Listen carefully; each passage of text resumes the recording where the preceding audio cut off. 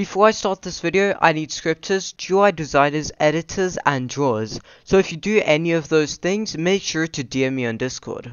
Hey guys, today I'll be showing you an FE script. FE actually stands for filtering enabled, meaning when filtering enabled is, well, enabled, everything continues to replicate from the server to the client, or in our case, from our client to others. This means that they can see exactly what we're doing. For example, grab a knife was an FE script.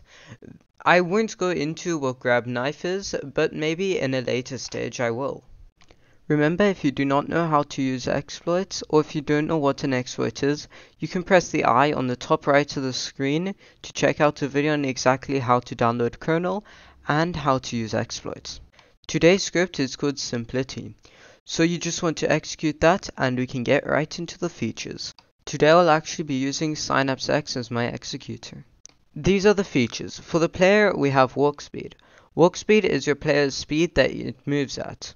The normal speed is 16, though with this GUI you can change it from 16 all the way up to 500. Then we have jump power. This is normally set to 50 but can be taken up all the way to 1000. This is how high your character will jump. And then last of all, we have gravity. This is the world's gravity. At 1, you will keep floating up and never be able to come down again. At 1000, you'll fall to the ground extremely fast, almost instantly. Next, we have utility.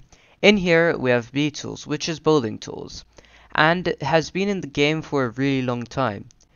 Next, we have anti-AFK, which is pretty self-explanatory. The Explorer is pretty much just Dark Dex, but in case the game has detection for Dark Dex. Click TP is not needed, as holding control and clicking does the exact same. Hitbox Extend and Silent Aim is for FPS games such as Arsenal. Infinite Jump allows you to jump infinitely high, but that is also pretty self-explanatory. Air Swim is a lot like Minecraft, but it will let you swim in the air just like you're in water. ESP allows you to see everybody through walls, and invisibility and guard mode are also self-explanatory. The FPS booster gets rid of all decals, and graphics enhancer just changes the lighting. There are also tons of more filtering enabled scripts, so many that I can't even show you in a 10 minute video. So I'll show you a few of them now, as if if I had to show them the video would take forever. But you guys are more than welcome to check the script for yourself and see if it's up to your standards. That is pretty much all for this video. If you want to request for another video, either DM me on Discord or comment your video ideas.